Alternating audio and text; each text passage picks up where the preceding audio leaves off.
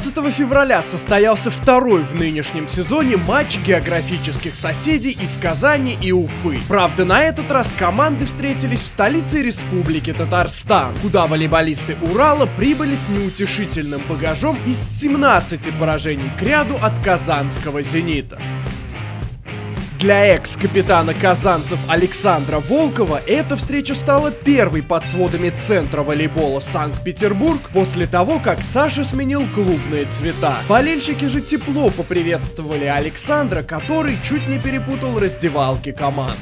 Ну, классно, да, один момент хотел старый зайти. но Приятно, мне нравится, как всегда, я как будто домой попал.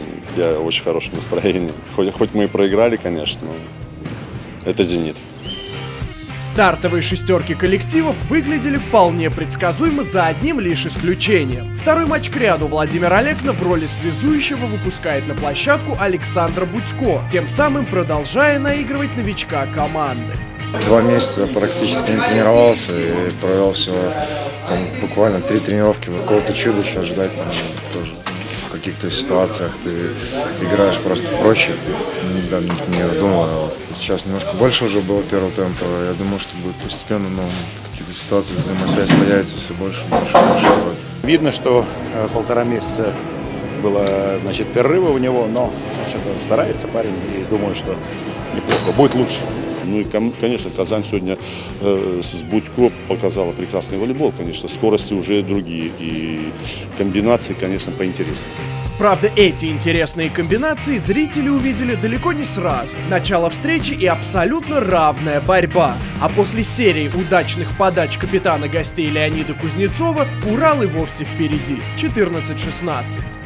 В этот момент по-настоящему заработала подача «Зенита». Андерсон, Михайлов и Леон оформляют каждый по одному эйсу, при этом забивая свои доигровки, тем самым дожимая неуступчивого соперника. 25-22.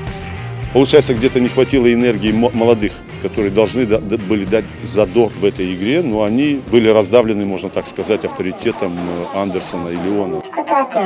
А вот во втором сете борьбы не получилось. Зенитовцы быстро закрыли Феоктистова и Кемерова, которые в скором времени оказались в разминочном квадрате. Леон же и Андерсон продолжали уверенно набирать очки. 25-17.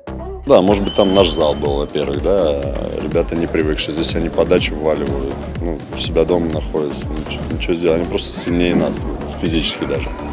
Третий сет по своему сценарию напомнил первый игровой отрезок. Равная борьба до второго технического. После чего вновь по-настоящему включаются интернациональные доигровщики «Зенита». 16 очков в активе Вильфреда Леона и 15 на счету Мэтью Андерсона, которые не дают поединку затянуться.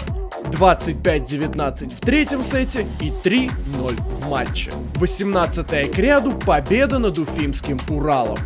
Опытнейшая команда с опытнейшими мастерами, умеет быстро адаптироваться под тактику соперника, поэтому они к нам адаптировались. Такой набор ошибок, конечно, недопустим. Надо было играть чище и нужно быть более креативным. Да, прежде всего важна победа, конечно, это придает уверенности. Наверное, скорее сейчас они мне помогают, чем я им помогаю. Вот. Пытались бороться, да, но очень сложно было и очень много своих ошибок совершали. А если с «Зенитом» играть своими ошибками, то шансов, в принципе, не очень много.